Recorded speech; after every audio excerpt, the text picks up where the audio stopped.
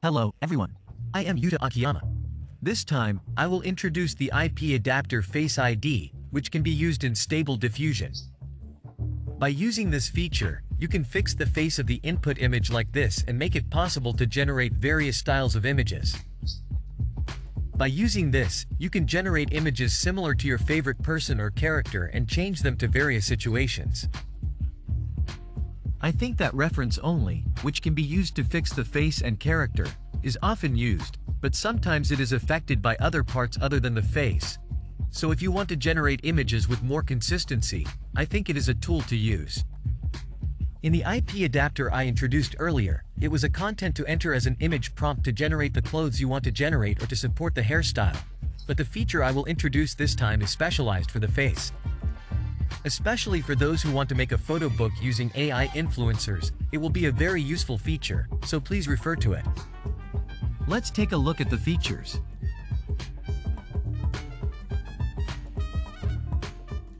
Let's take a look at how to download the IP adapter Face ID. First, go to the Hugging Face page of the IP adapter Face ID. This is also in the summary section, so if you are interested, please check it out. If you look at the introduction here, you can see that you can generate images of various situations from one picture like this. It's a little difficult to understand because it's so detailed, but if you go down, you can input a picture of Taylor Swift like this to generate images of various situations. Let's take a look at how to download it. First, click on Files and Versions. There are a lot of things written here, but this time I will download the IP adapter Face ID plus V2. This is where SD 1.5 and SDXL are divided, but please divide it by the base model of the model checkpoint you are using. I basically use 1.5, so I will choose SD15. As a way to check this base model, you can see it on the Civitai or the model page. In the case of Civitai, you can see that SD 1.5 is used in this base model. This time, I want to generate images using Epic Realism, so I am choosing 1.5. Then, I will download a combination of this bin file and SafeTensors file. First, let's take a look at how to download this bin file.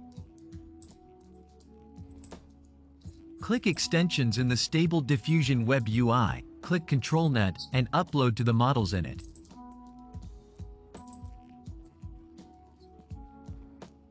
The V2 and normal versions are already in it.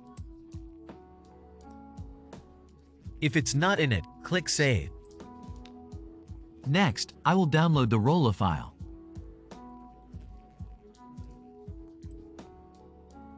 Click Models on the Stable Diffusion page.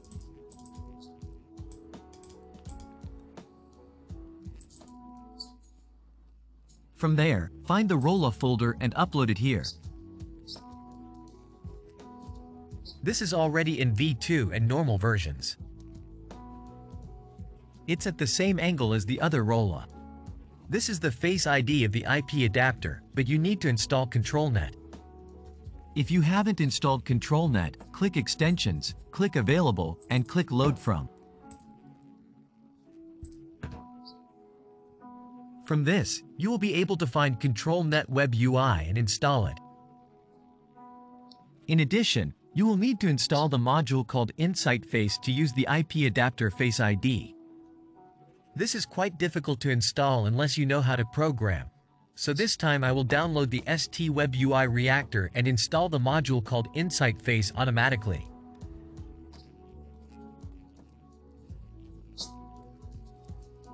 To install this, just paste the reactor URL in the Install from URL section.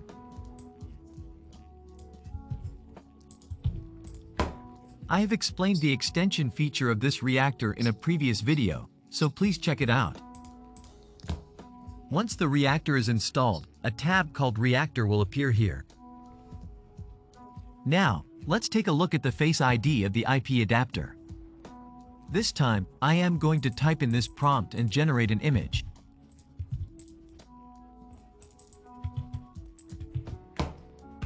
This prompt is an image of a Japanese man in a jersey. First, I will generate an image. This image is not using ControlNet. Yes, this image was generated. Next, I would like to use ControlNet. First, click Enable and click Pixel Perfect. After that, select the IP adapter. This is the preprocessor, but this time select Face ID Plus. The one I installed earlier is the Plus version, so I am selecting Plus this time. Next, select Plus for this model as well. This time I will select Plus V2. If you select a normal model instead of selecting Plus here, you cannot generate an image, so please make sure to match this phrase. Next, I will input the image of the face I want to generate to this multiple input.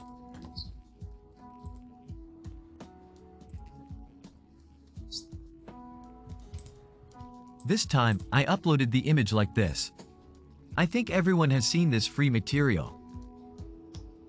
Now that the settings are complete, I would like to generate an image. I will set it to batch count 5 and generate 5 images. Yes, the image was generated like this. It's a bit similar, isn't it? To make it more realistic, I will upload the LoRA I installed earlier. This time, I will select V2 because it is the plus V2 version. Please make sure to match this LoRA with this model. This time I chose model plus V2, so I also selected V2 for this LoRA. I will set the weight here to 0.7. By adjusting this weight, you can control how much you want the face to be. Then I would like to generate again with this prompt. And it's pretty fast, isn't it? Yes, the image was generated like this. Now I would like to compare the original image with the generated image. Here is the original image. This is amazing, isn't it?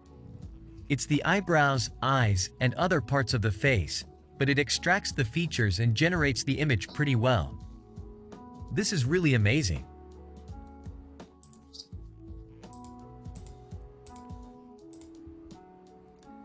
It's very accurate. This time, I generated a gym girl, but I would like to generate a different image with a different prompt. This time, let's use in the dancing club. I will use a party dress instead of a jersey from dancing club.